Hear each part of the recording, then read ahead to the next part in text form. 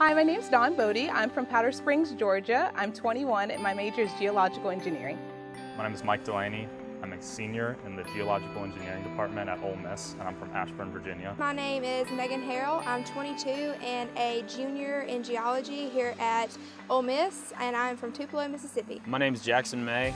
I'm a senior. I'm 21, and I'm from Houston, Texas. I've been an Ole Miss fan all my life. Um, I, as a kid, I had Archie Manning jerseys, and I was never any doubt that I was going here. I knew from being a freshman in high school. I've always been an Ole Miss fan, so I just start, decided to come here. Plus, it's it's really cheap, especially for in-state tuition. Um, I chose Ole Miss because I'm part of the band, and I actually really enjoyed the band here. And I chose geological engineering because at a young age I used to collect rocks. And so when I came here and found about, about this major, I also really love math, so I thought that was the best combination of both. A small school size definitely played into it. Ole Miss football is pretty hard to beat, and the School of Geology here is an absolute wonderful place to study and be a part of. Over the past summer, I did an intern at the sedimentation lab in Oxford, where I was working with soil and just how we can make agriculture thrive again in the Delta. I'm currently employed by the university. I've been a TA for two years. Um, currently I'm a TA for optical mineralogy and mineralogy and petrology. I did research last semester with Dr. Platt. We uh, researched shale wettability using contact angles from the uh, chemical engineering department uh, equipment.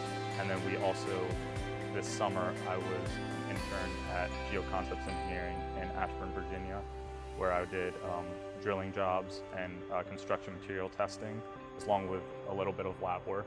It's definitely mineralogy petrology. I took it this past fall with Dr. Gifford and Dr. Inoka. They dual taught it and it was Dr. Inoka's first year and they were both just amazing at teaching it. I learned so much. I had an awesome TA for the lab and it's actually, the class is what made me want to go into mining. It was just, it was an awesome class. My favorite class is optical mineralogy. Uh, it gives you a whole new look. You're not just looking at a rock that you can hold in your hand. Um, you're looking at actual chemical makeup of the entire rock and uh, it really changes the way you can look at economic reliability of rock. My favorite class I've taken here was structural geology with Dr. Gifford because I feel like it was the first class that really pushed me and made me actually study and I finally can make a perfect cross section. I feel like I feel like I could do one myself. My favorite would have to be Dr. Deason's uh, petroleum geology class, which was just a really fun class. During this year, I've been learning a lot. Uh, I'm in hydro right now on water resources and site, so it's a lot. And just I think I'm learning mostly time management is the big thing. I've learned quite a bit. Um, our lecturers really put it, put it on us. Uh, I'm in economic geology and geochemistry currently, um, and that's been really big on learning about the environment and how our actions affect that. I'm definitely going to go and try to get my master's. Um, and then, like I said, I want to try to go into the mining industry and just see where it goes from there. I would like to join the workforce and go uh, geotechnical engineering. I'm planning to start working uh, in uh, mining and uh, mineral allocation services in Houston, Texas uh, once I graduate.